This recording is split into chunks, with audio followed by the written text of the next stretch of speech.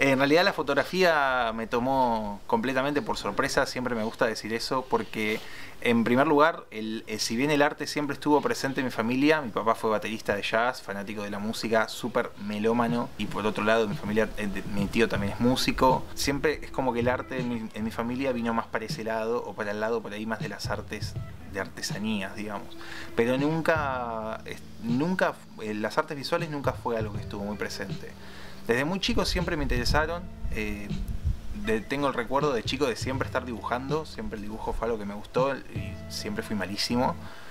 Eh, en un principio me acuerdo que a los 6, 7 años eh, tomé mi primer curso de cerámica.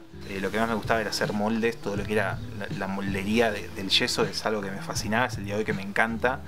Me acuerdo que me gustaba mucho porque yo era fanático de Pokémon y tenía muñecos de Pokémon este, y bueno, nada, me encantaba porque los moldes los hacíamos con eso y bueno, de alguna manera el arte o, las, expresiones artísticas empezaron por ahí, con la cerámica, eh, con la pintura. Después con el tiempo, a los nueve años más o menos, empecé, me metí en la música, estudié bajo eléctrico, más adelante estudié en el conservatorio, con trabajo, eh, toqué en una en una orquesta que tenía una iglesia evangélica que yo iba cuando yo era chico, tocaba el bajo eléctrico y, tuve un intento de tocar el violín, lo cual mis dedos gigantes, este, enormes, no me permitieron nunca. por ahí me interesaba más en lo visual, me interesaba mucho más la pintura, el graffiti siempre fue algo que me llamó mucho la atención. Y bueno, a los 17 años estaba súper emocionado con estudiar historia y recuerdo que un día estaba leyendo sobre la Segunda Guerra Mundial y leía sobre que los rusos habían diseñado unas cámaras espías que entraban en un bolsillo y me acuerdo que, vi el documental y no podía creer lo lindas que eran las cámaras. No me interesaban las cámaras rusas espías por, ser cámaras, cámaras fotográficas, sino por, la ingeniería y el diseño de, como industrial que tenían. Me parecía genial. Entonces, eh, siempre fui bastante adicto a comprar boludeces. Y un día dije, bueno, voy a comprar una cámara espía rusa para poner en mi estante como adorno. Y me acuerdo que no conseguí. Me acuerdo que revisaba completamente todos los sitios de ventas de internet a ver si encontraba una. No encontraba, las que encontraba eran carísimas porque obvio son objetos de colección. Y de repente me encuentro con una cámara que es una cámara Olga, que es una cámara plástica, eh, de, plástico, con un lente de plástico, con una construcción de juguete.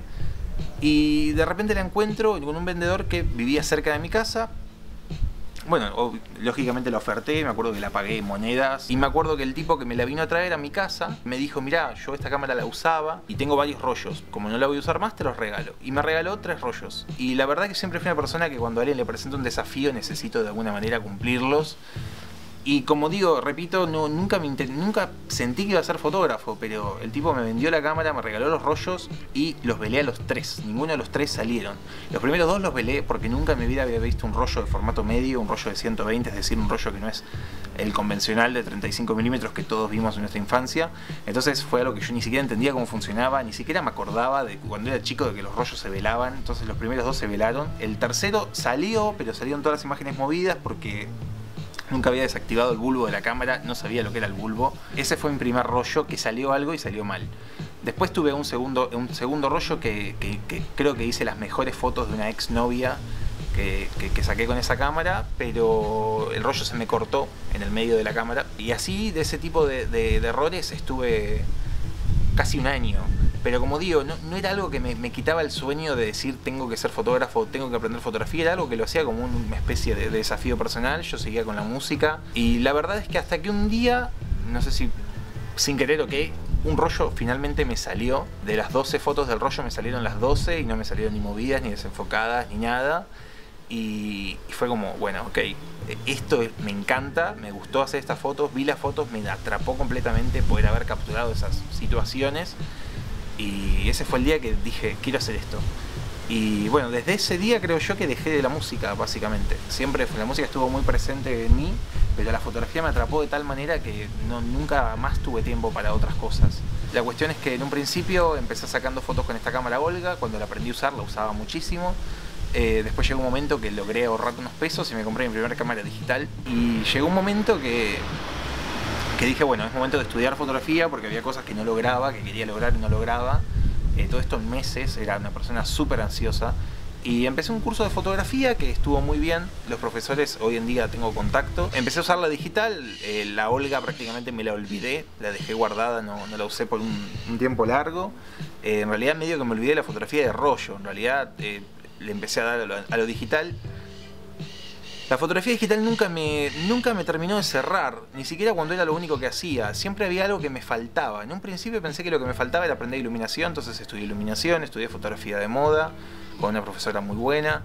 Eh, después me di cuenta que, bueno, necesitaba aprender Photoshop, entonces un curso de Photoshop, aprendí Photoshop, aprendí Lightroom. Me di cuenta que quería lograr constantemente eh, las cosas que con una cámara de 9 dólares, como la Olga, podía lograr, que eran los colores que yo quería lograr. Entonces dije, bueno, ni siquiera pagando tantos cursos de Photoshop estoy logrando lo que me gusta a mí. Entonces, ¿cuál es el problema? Voy a empezar a sacar arroyo de vuelta. Y ese fue el día que volví a empezar a usar la Olga. Con el tiempo me compré una reflex analógica. La cámara digital cada vez empezó a estar más guardada. La, había, la, la, la empecé a usar, pero solamente para trabajar, porque yo para esta altura ya estaba trabajando como asistente de un fotógrafo en, en eventos, que trabajé casi dos años. Y bueno, empecé a sacar fotos de manera analógica.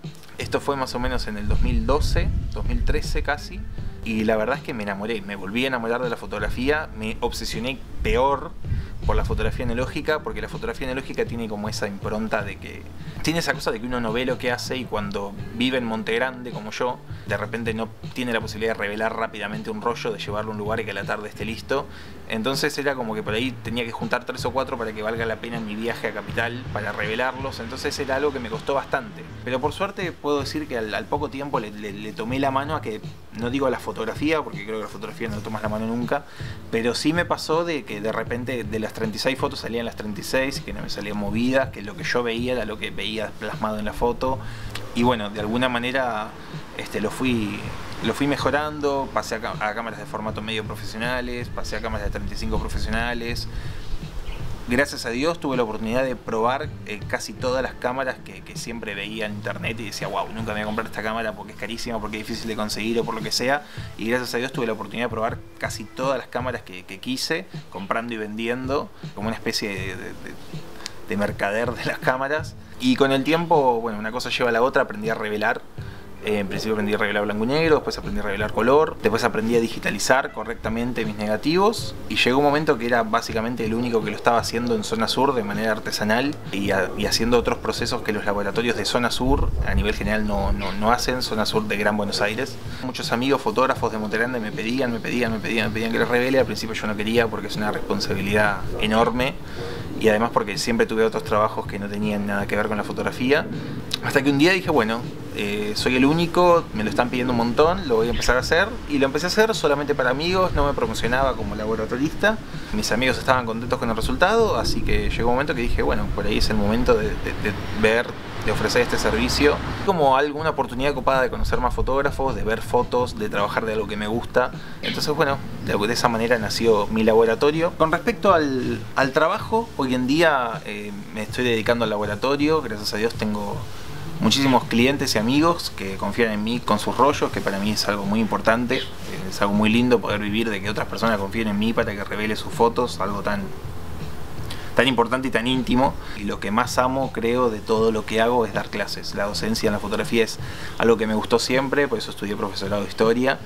Siempre desde la fotografía, siempre defendí el valor de la fotografía de, la fotografía de lo cotidiano, de, fotografiar este no me gusta mucho usar el discurso de eso de, las cosas que la gente no le da valor y uno la fotografía se lo puede dar, porque yo siento que lo que yo fotografío sí le doy valor, pero me gusta mucho fotografiar mi ciudad, me gusta, amo profundamente fotografiar el conurbano de Buenos, Buenos Aires, eh, zona oeste, zona sur eh, en particular, es es algo que me encanta, siempre encuentro un espacio nuevo que me vuelve loco y que sí, que en general a la gente por ahí le parece aburrido, por ahí a la gente le parece algo más, está tan acostumbrada. A mí la verdad que me fascina. Yo siempre digo que mi ciudad preferida y mi lugar en el mundo es acá, en zona sur, en el conurbano. Y bueno, me pasaba de que mi tipo de fotos eran esas y me pasaba de ir a laboratorios donde no trataban con el mismo amor y con el mismo respeto que, que yo trataba mis fotos Entonces me pasaba de repente de ir a un laboratorio y que la persona me dice, bueno, en una hora lo tenés listo, y yo, bueno, obvio, feliz, porque en una hora me lo daban, y a la hora el tipo venía con el negativo mojado, chorreando, apoyado en su pullover, me lo daba lleno de pelos y yo tenía que llegar acá a escanearlo y ver cómo carajo sacarle los pelos. Me pasaba de... Siempre cuento que tengo un proyecto fotográfico que, estoy haciendo fotos en el pueblo de mis abuelos, General La Madrid, ya hace bastante tiempo, desde el 2013. Viajo en cuanto puedo y saco fotos allá y la verdad es que uno, uno, siempre que viajo vuelvo con varios rollos eh, y son muy importantes para mí, obviamente, como creo que todos fotógrafos son importantes sus rollos, pero una vez en particular le había sacado unas fotos que yo creo que es el día de hoy, que son mis fotos preferidas de las que he sacado.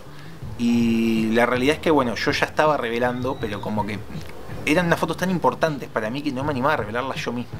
Entonces dije, bueno, no, voy a gastar un dinero importante, pero voy a mandar a revelar al que dicen que es el mejor laboratorio de Buenos Aires. Entonces llevé los rollos a ese laboratorio, convencido de que era lo mejor. Cuando me entregan los negativos, los negativos estaban completamente rayados, eh, pero completamente rayados de una manera irrecuperable. Y la realidad es que estuve al borde de irme llorando del laboratorio Llegué a mi casa, yo ya tenía el escáner de negativos, me puse a escanearlos, las rayas eran terribles, tuve que editar con Photoshop, esas fotos hoy en día las uso porque son de mis favoritas, pero necesitan un nivel de Photoshop debido al, al, desgano con el que se trataron los, los negativos. Esto fue algo que me entristeció muchísimo y dije, no, voy a voy a, si saco fotos eh, importantes, rollos importantes como estos, voy a guardarlos hasta el día que aprenda a revelar yo mis propios rollos. ¿Por qué? Porque en primer lugar nadie va a tratar con el amor que, yo realmente le pongo a las fotos, a esos rollos, y en segundo lugar también porque cuando uno se manda una macana, está bueno que, la culpa la tengas vos y no tengas a quién culpar.